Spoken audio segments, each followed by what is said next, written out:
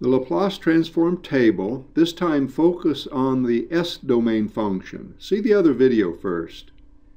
Here's the Laplace transform table. There are the time domain functions and the corresponding S-domain functions. Let's visualize 1 over S. But first we have to describe S, which is a complex variable. Compared to time t, which is a real variable and can contain any real number, the complex variable s can contain any complex number. Complex numbers can be described using rectangular components, x and y, or polar components, magnitude and angle.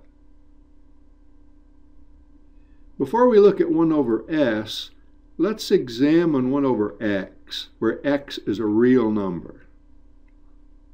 As x is large, positive, and getting small, going towards 0, 1 over x gets larger and larger and larger and goes toward positive infinity. When x is negative, large, and going toward 0, then 1 over x goes toward negative infinity.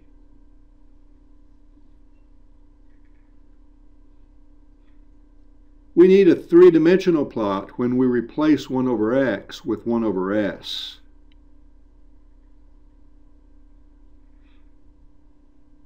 This three-dimensional plot was produced in MATLAB. This is the real part of S. This is the imaginary part of S. The vertical axis is the height or magnitude of 1 over S.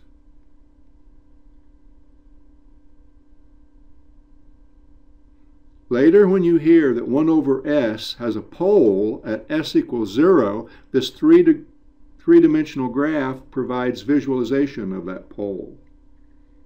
Wolfram alpha provides other viewpoints of the function 1 over s.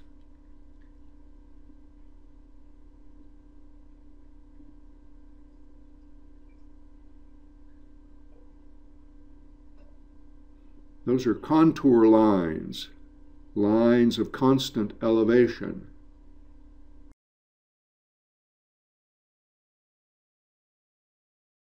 Well, all that may be interesting, but how is the time domain function f of t equals 1, or the unit step function, related to the complex domain function 1 over s?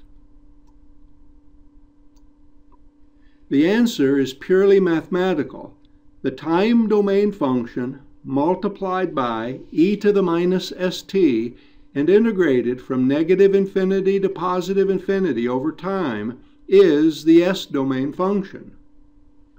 This is the definition of Laplace transform. This is how all the s-domain functions in this table were calculated.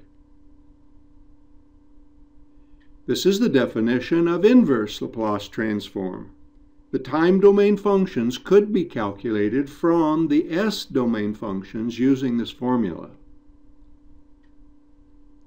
Playing with these formulas might be interesting to a math major, but we in engineering only need to use the functions in the table for our purposes.